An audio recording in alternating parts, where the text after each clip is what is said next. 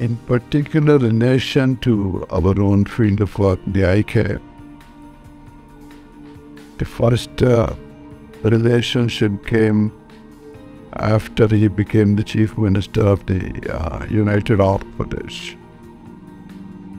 And at that time, uh, he sent word for me to ask of any help that I could provide to develop a statewide, more robust eye care program. The global uh, group of people involved in blindness prevention and eye care in the world, the World Health Organization and many international NGOs, together launched a big program to eliminate all avoidable blindness in the world by the year 2020 a program called Vision 2020 The Right to Sight. And for that meeting, I have uh, invited uh, Sri Chandrababu Naidu to come and lead that group.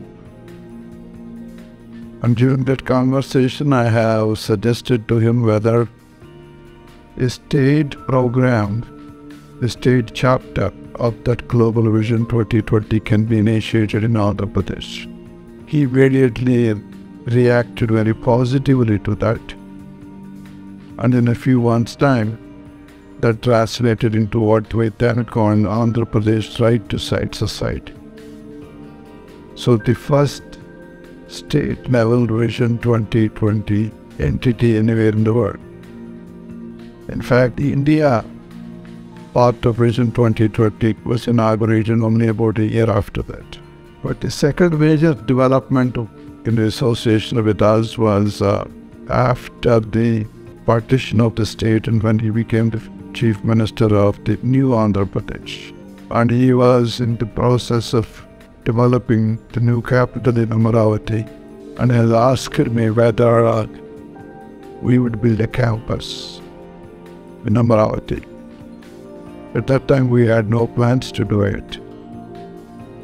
But he was uh, quite insistent that we should be there.